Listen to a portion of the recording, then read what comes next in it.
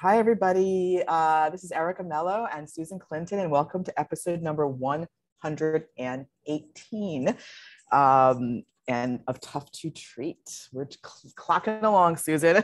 That's right. We're moving towards that 120 mark. We're exactly. Uh, this is uh, before I, I, do the brief intro on this patient we've talked about before, and I'll give you guys the podcast numbers.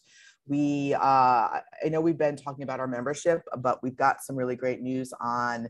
We're doing um, the, the, the URL is toughtotreat.supercast.com. Those are all the details, but we have an what we call an Ask Us Anything, where our members can either post questions in our portal or come on live, which is what we're doing now. We're having once a month for the next few months a live call, live Zoom call, where our members can come on and just ask us literally anything, right, Susan? And mm-hmm. I think that's a huge, a huge uh, benefit to the membership uh, because sessions with us alone would cost far more than what the membership is, even you know, for many years. So yes, uh, absolutely. So yeah. So, so put your questions together and join the membership. And when you're in the membership, you'll see the link to register for the Ask Us Anything. The next one, um, we haven't set the date for April yet. We are just now in April, so we will be getting that out to everybody. Um, you know, so that you can join us live. Usually, what we're looking for is probably close to the last Thursday of the month yeah. um, to do the Ask Us Anything. So you can kind of tentatively mark that in your calendar and we will see you then. Absolutely. All and right. So on to this uh, real quick intro for this patient. We've talked about him before, uh, and uh, he is. I will tell you, and and we can just cut to the chase, but uh, he is probably all-time top ten. One of my toughest patients, doing well, but we're at. I'm at a point where I want to go back and forth with with Susan on how to tease out certain aspects of his movement patterning. And uh, I hope you I hope you all enjoy it.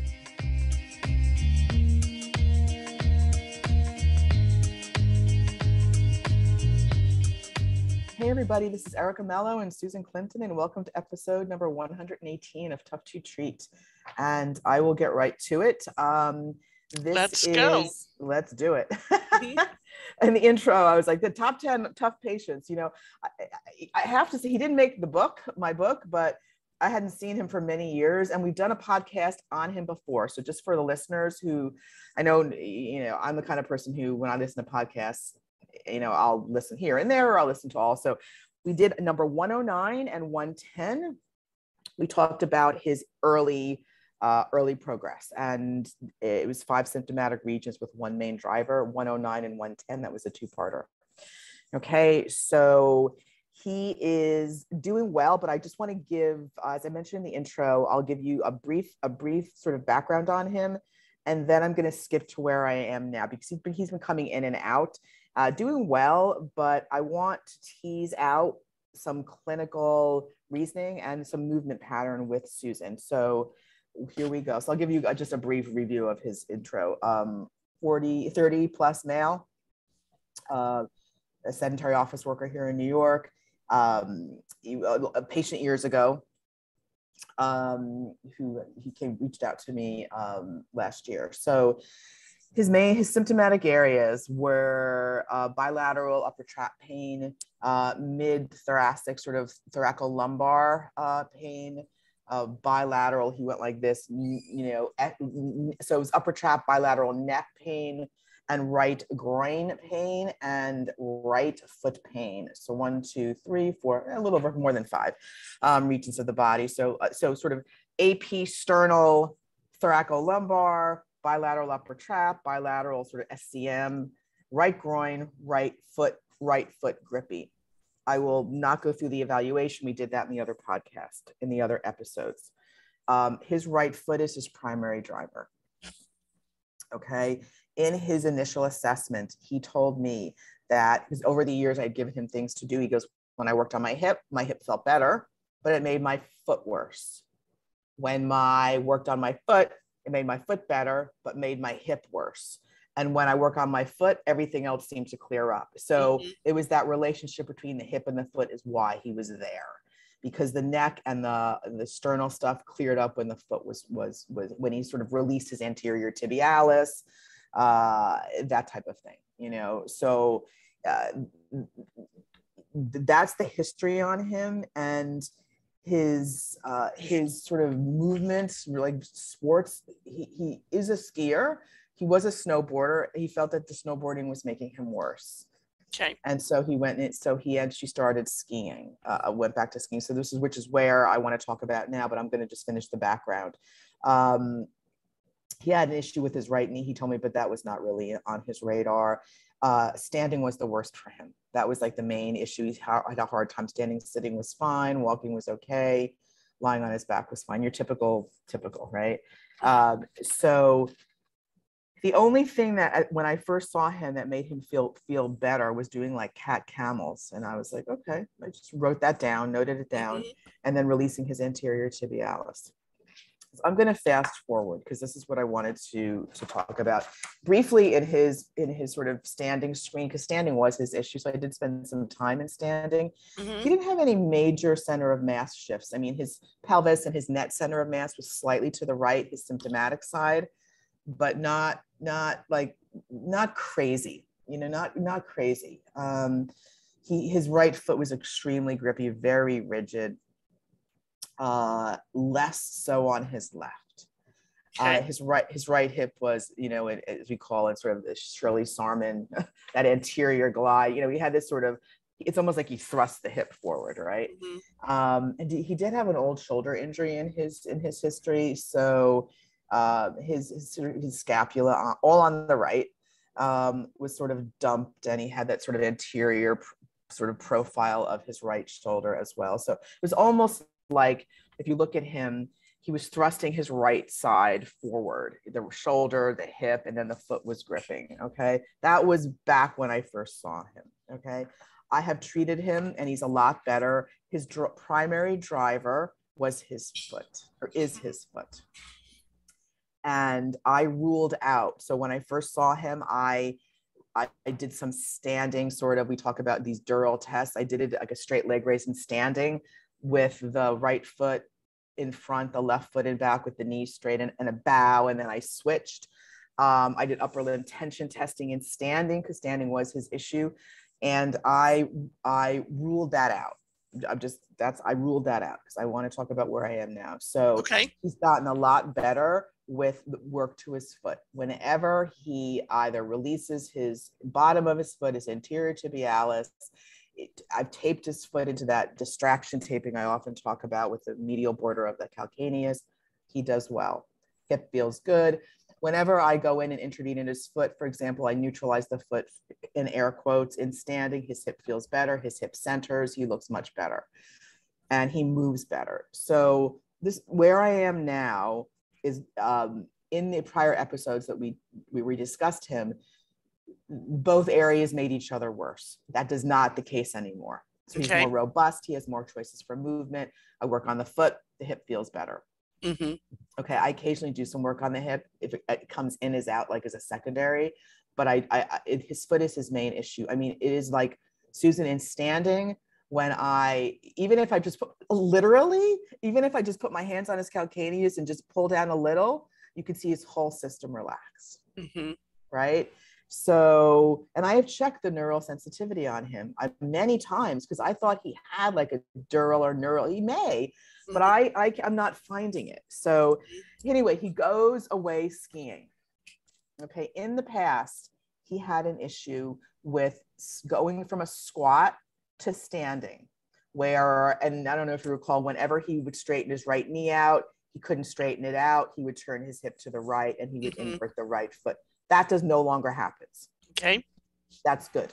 And I had him on the Pilates equipment facing away, uh, putting his hands on the reformer on the bar and doing some hip extension, knee extension, like with like a glute kick. He couldn't do that. Now he's fine with that. He can straighten his knee, no problem.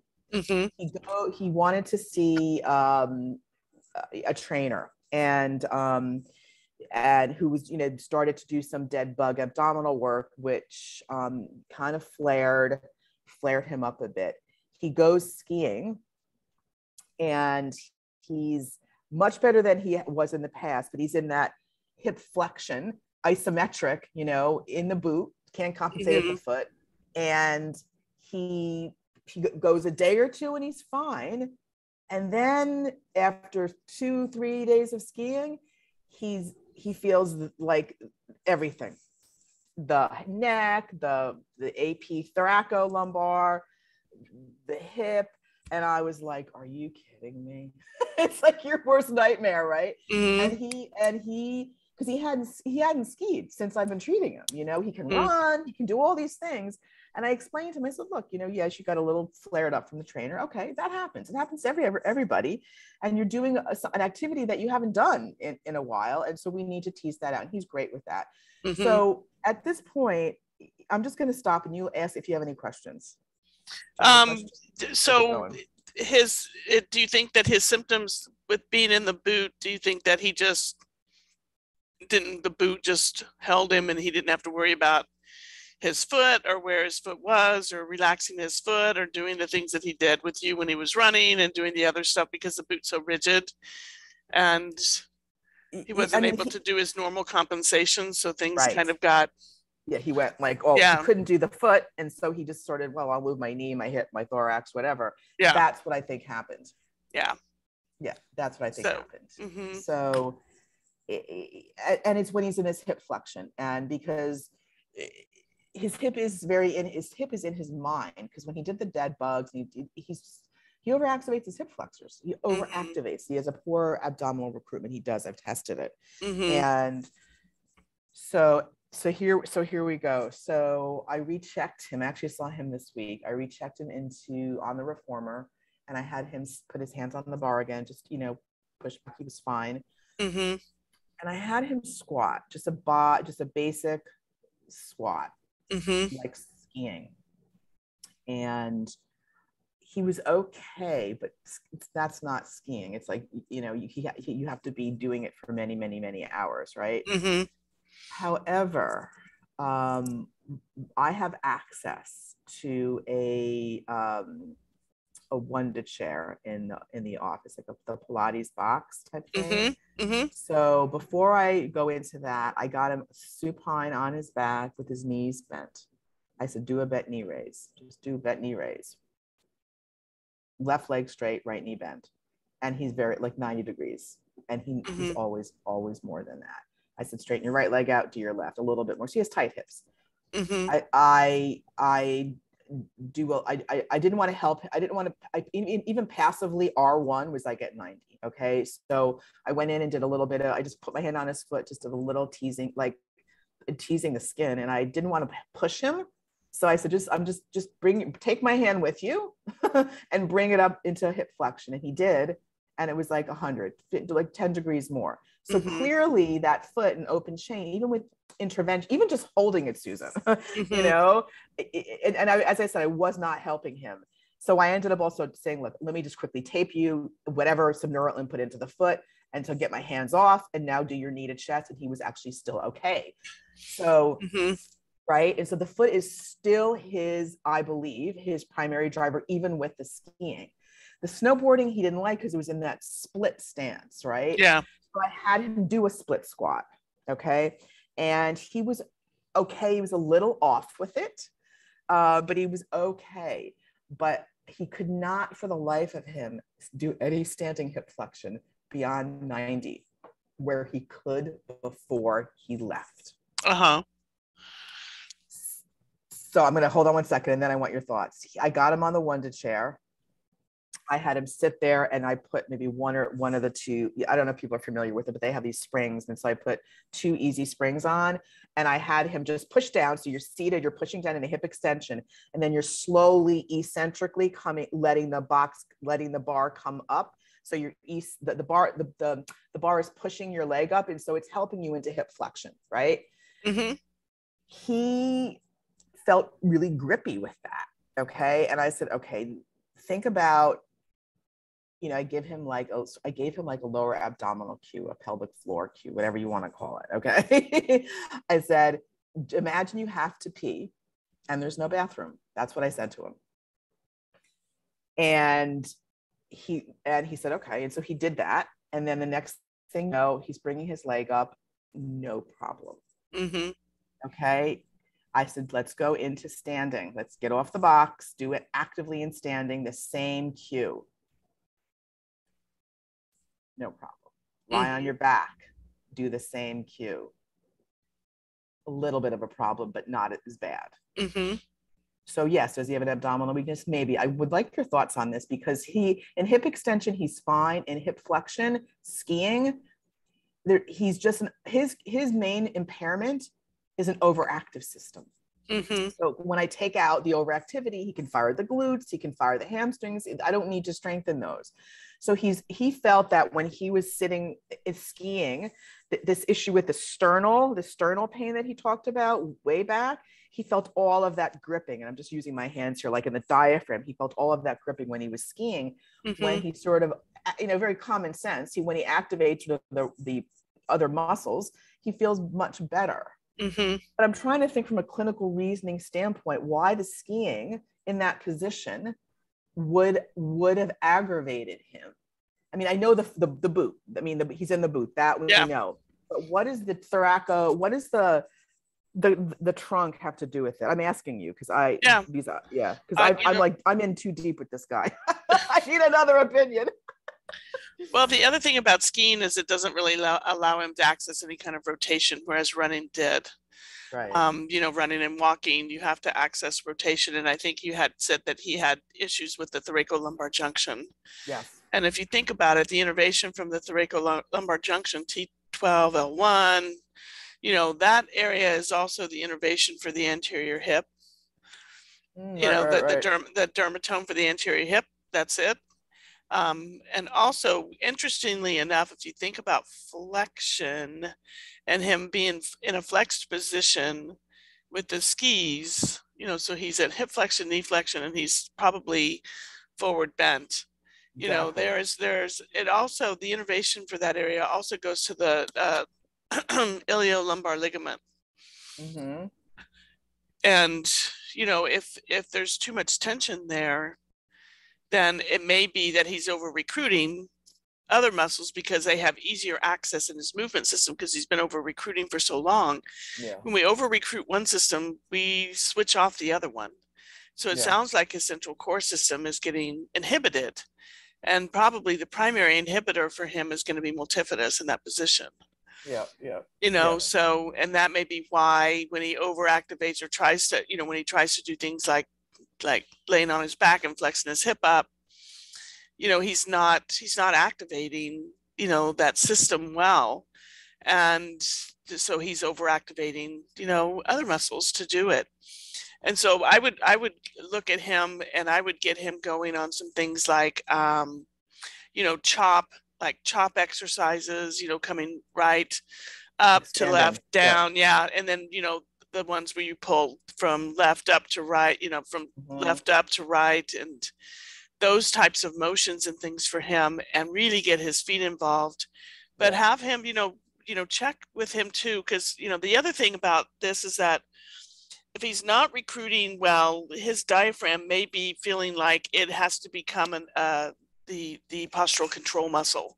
Yes. And so when you were saying that he felt really grippy in the sternal stuff while he was skiing, he was probably hanging on for dear life with his um, was. diaphragm muscle. And we, you know, we have pretty good evidence to show that if we've got a diaphragm that's over recruiting and over controlling for people with back pain, you know, the Kolar articles that came out in 2012, if you're right. over, you know, if you have back pain and maybe hip pain, they just looked at back pain, but we we don't know yet, um, you know, because they haven't looked at other stuff. But it, you know, lay, and they did the studies with the person laying on their back, and they, the resistance they gave them was, you know, hip flexion, but it was with the straight leg raise, but it was still right. hip flexion, right? That's right. Right. And so they were showing that the for people who were symptomatic, the excursion and the, you know, uh, the the size, you know, the muscle size and the excursion, you know, was very very different for a mu- and it was a muscle that was actually flattened and over recruiting. Yeah. And yeah. so the the the trick here is, and so that and so the you know postulating out from that research article and listening to this guy, it sounds to me more like he's got an over recruiting diaphragm, and that's what's inhibiting right. his deeper core muscles. He's yeah. using it to hang on. And so maybe perhaps going after that can help him you know, and so that's why maybe the foot just like grips up because everything grips. Know, yeah, yeah, exactly. Yeah. yeah. So with him, since he has that decreased talocrural kind of access to motion, mainly because of over recruiting, I'm just wondering with him doing sway exercises in addition to the other stuff that you're doing might be good because he would be on his foot, he would have to control his foot, and he could start working on swaying forward at the ankles, swaying sideways, going in circles. And, you know, as he goes forward, that's going to trigger the posterior chain and maybe perhaps yeah. allow him to like stop over gripping in his upper abdominal region, diaphragm yeah. region. And then he, and then from there, you can give him the cue, you know, to slide, yeah. you know, I usually like slide belly button towards the backbone or, you know, yeah. For guys, you can say nuts to guts, you know, as for to, right. to trigger a little bit of a pelvic floor lift. Um, That seems to be the word that works really well with them. So, but you know, the, the biggest thing is breath holding. I that's where yeah. I would go with yeah. him is like have yeah. as he exercises, as he moves, have him start talking. And you know, just see if you, you know, he can hear the buckle points when it happens. And that's kind of will tell him that, oops, that's where your diaphragm is overworking. So we need to yes. smooth that like out. Self, like a self check. Yeah. Absolutely with the exercises and i wonder if he would just like maybe hum as he goes to lift that knee up if that would do it because you know if you're talking and humming you're going to have to recruit your core muscles a bit you're going to have, you don't want to do it hard so you don't want them yelling you know yeah. you just want them you know kind of doing it and it may be that that may inadvertently trigger him to stop holding with his diaphragm and start using those other muscles more so when he uses them he can do better the question yes. is why is he not using them Right. And it's because other, I think probably the diaphragm in there is like the, the culprit. And that's, yeah, yeah. that's the lumbar junction, right? Because that's where yes, the diaphragm exactly. sits. Yes. Yes. So, and that's, and he was using like I'm using my hands here, but he was like you doing this on his on his yeah like on his lower abdominal cavity yesterday or no this week when I saw him, you know this this like this, and and that's why the dead bug dead dead bugs did it to him. I mean, that's a hard yeah. exercise for somebody like this, you know? Yeah, yeah, that's a pretty advanced exercise. It may seem innocuous, but it's but it's but it's it can, you know, just have to kind of meet people where they are just a little bit better. And you know, but that's I would, you know, so I think doing the exercise that you did, I, I love the reformer because it violates some expectations you know, and he has to flex, you know, he's he's straightening his legs out and then he's pulling them in. So he's actually doing hip flexion, but using different muscles. And I think when you have him on the reformer, he has to trigger his core. Yeah. In yes. that position because he can't do it yes. otherwise, which is why he couldn't right. do it in the beginning. So, and I yeah. just think that, yeah, with the skiing, he just kind of got back into the old movement system habit and probably was like the uh, diaphragm was just really running the show. Yeah. And and i know a lot of patients you know we all get them they're like oh i have to concentrate so hard on you know you know my cueing or mm-hmm. trying to mm-hmm. let go and i'm like well yes you do to start with until it becomes ingrained in your brain mm-hmm. that sort of mindful movement it's be, like it's like a habit when you and i explained to him that when you're skiing this is a high load your body's going to default as you said to an old mm-hmm. movement pattern mm-hmm. it's normal this is normal and he did get a couple good days so he you know out of that but he hadn't skied and i think what what got me was that this guy i will tell you he is not your run of the mill and mm-hmm. um as we talked in the other episodes, he had these five regions of the body, and, I, and I always and I, I went back to the you know to the initial assessment I did, and he always said to me, and sometimes I think we as therapists we get not easily swayed, but we're like, oh yeah, the work on the foot made everything better. And then we're like, okay, great. And we're going to go down that rabbit hole, right? Oh, it's the foot's the driver. And it was, and it got him, got him much better. But then when he started to load his system, there was something in the back of my brain saying, you know, there's more than one issue here. This guy is too complex not to have. In my practice or in my clinical practice people like this they have more than one driver okay? And it may not appear in, unless until they load or or until they do a, a movement that takes mm-hmm. away their compensation. And that's what skiing did for him. He couldn't invert his foot so if, let's say he had like ease um, boots that were looser mm-hmm. would he feel it in his diaphragm? Probably not, because he could compensate in his foot. He'd feel it in his foot. I'll tell you that. He'd feel it in his anterior mm-hmm. tibialis. That's what he would feel. So mm-hmm. either way, he would feel something. Yeah. Because he so you know, and I think this was probably a good thing. So in terms of like the so we I can use like I like the swaying, so I could do standing. So I did side to side stuff with him, but it was more controlled. It was more yeah. foot related, not like swaying and postural mm-hmm. postural swaying. Yeah. So you're saying AP sideways. Yeah, like like yeah, just even in a circle, just that'll work the foot, but that'll help him access that the foot has to do different things mm-hmm. with different postural changes. And that'll, you know, that connection there will, you know, and just have him make sure that he is talking or humming so that he is not over recruiting that diaphragm. Got it. And Got the same it. thing if you move into like some of those. So then when you have him do that, that's probably a great precursor to moving into like the chopping motions and the lawnmower pull motions, you know, those types of motions to start yeah. to kind of retrain the, the multifidi a little bit, but it also retrains mm-hmm. everything, lateral hips, foot, you know, it's a full body movement, but it brings yeah, yeah. rotation in. And so once you can get the diaphragm from over recruiting a little bit, then you can continue into those, you know, rotational movements that sway has to be part of. Yeah. But I think yeah. the sway will help, yeah. you know, kind of at least a place to start with and something he can do in standing. Yeah. So this is something he can do. It's pretty innocuous. He doesn't have to, you know what I'm saying? He can do it all day long. Mm-hmm. Um, and it's, mm-hmm. it might be kind of a nice little uh, reset for him, especially if it kind of calms things down. Yeah. You know, yeah. See, and that's something that he can return to. Like you've been sitting for a while, stand up and do some sways. You know, standing is his big issue. So if it's bothering you, relax your foot and you know do the sways because if his foot is over gripping he won't be able to sway so his brain will figure it out you know we right, just need right. to give his movement system different things to do so that he can't rely on that old system he has to begin to build variants around it like you've been doing with him yeah yeah yeah yeah yeah because with the skiing you're right he's so far forward with the skiing and you just, I mean, you, I said to him, I said, how do you move your arms while you're skiing? He's like, well, you know, you, are not like flinging your arms around, you know, you're pretty controlled, right? Mm-hmm. So, um, and I like the chopping. So I think even started kneeling, but I don't think so because he just wants to. Because I, I, said, look, you don't need to keep releasing your foot. You can, but that's going to be a waste of your time at this point. Yeah. And I said that to him, and I said, you know, th- th- it is your main driver. However, you need to challenge your driver in different variable yeah. movement and, patterns. Yeah, and we've talked about that before. We got to load the driver, and so the Swain is going to load the driver in different ways. The other thing is with him on the reformer, he tucks his toes up underneath, right, when he's on hands on the bar and on his knees. Yes. You, you have them tuck his, I'm, I'm sure you do, yes. but I just yes. want everybody out there to kind of pay attention to that because that's how we can help them get some foot control. Yeah. So they're not just on their knees with their feet flopped out. They're no, they're, they're, tucked under and their feet are like in a good position on the shoulder. Yeah, and, and same thing yeah. when you do some, you know, if he was going to work on some sit back stretches or maybe he was going to progress to pushing the ball you know, like hands and knees, hands on the ball, you know, kind of like you would, you know, how the people will do those rollers on the floor.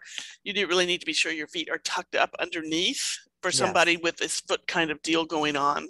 Mm-hmm. Um, you know, so that can be helpful as well. I just wanted to point that out for everybody to kind of think about there that just because you're on your hands and knees doesn't mean that you can't bring the foot in. So if he was going to do tall kneeling, mm-hmm. you know, as an exercise, you know, to just change positions and uh, you know, work on, you know, having to control the, the pelvis and the, you know, trunk a little bit mm-hmm. better and take the foot out of it. We still wouldn't necessarily take the foot out of it. We would have those, have them tucked up under and those toes underneath them, you know, so right. that there's that piece there. So it's not just the feet flopped and not really like, you know, being out of the picture. We really want that whole body connection with him you know, to see. Now you may do it at first without the feet tucked under if you're trying to just see how does he look without the feet in the picture, you know. But mm-hmm. yes, you had already determined that his that yes. foot was so important. Yes. So you know, then you tuck that foot under and see if everything improves. yeah, yeah, exactly. And I think yeah. in hindsight, you know, of course, the skiing is going to make him worse. He took away his compensation. So, yeah. you know, the issue with the diaphragm, real quickly before I finish, is that mm-hmm. so the talking, the breathing, the humming, he's going to do that with all exercises, pretty much. Just yeah. control mm-hmm. the breathing. Okay. Okay. Um, most people don't realize how much they're holding their breath. Yes. You know, and and it may and it's just super subtle, and it he doesn't it won't be forever, but it yeah. it's just a nice reminder because you cannot talk and hold your breath at the same time. No. Completely impossible. So, yeah. and you know, with the neck stuff, that may actually begin to start to change his patterning around his neck and upper traps as well, because yeah. he's accessing and using. You have to access and coordinate the muscles around, you know, the larynx. Yes. And in vocal folds to hum and to talk and to do those things. And so, you know, if he likes it, it's time to put on his favorite music and and just kind of lightly sing as he does his exercises yeah yeah yeah you know that's always a good one too like you know when you're going to do this if you're going to go run turn on some music and be sure that you're singing a little bit as you go yeah. or humming as you go so that you know you can check in and make sure yeah i'm not holding my breath yeah yeah and i think um looking at his body chart you know yes he he he actually put his hands around his neck like like a chokehold and around mm. his upper traps and if you're gripping and trying to breathe his accessory respiratory muscle yeah. that makes complete sense right yeah um, exactly um, so yeah, awesome. Um, yeah, so I that, will. No, go ahead. Susan. Yeah, no, that's that's good. And you know, the other thing you can do is you can have him while he's on the reformer, you know, with his arms on there, and or he can just sit and grab a hold of the arms of his chair, mm-hmm. so he can't move his yeah. arms, and have him take some good deep breaths through his chest. Mm, and that'll okay. just get the pec muscles pulling on the on the chest wall, which mm-hmm. he needs for skiing and running yeah and things yeah, like yeah. that so he can do that um, he can hang you know you can put a theraband around him and he can grab hold of it with his hands and then he can like move one as he breathes in and moves the other as he breathes in so you can get that because we really yeah. want him to access that whole chest wall movement yes um, you know while he so he can hyper respirate better yes exactly. and you know and that'll help probably the neural sensitivity a bit yes yeah awesome uh, very well, awesome. So I will um I, I will update. um, I think this is interesting. If yeah, so, let's do. Um, let's hear what happens. You know, we've got uh, uh, episode 109, 110. That was the initial with him, and then this is episode so, 118. 118. So if you didn't catch 109, 110, go listen to it. Listen to that first. Yeah. yeah. Yeah, and then come back in and hear this one so that you can pull the story through. Awesome. Well, thank you, Susan. As always, thank you to listeners, and uh, enjoy. Yes, and don't forget uh, toughtotreat.supercast.com. Join us in the membership. Yep. Bye. Bye.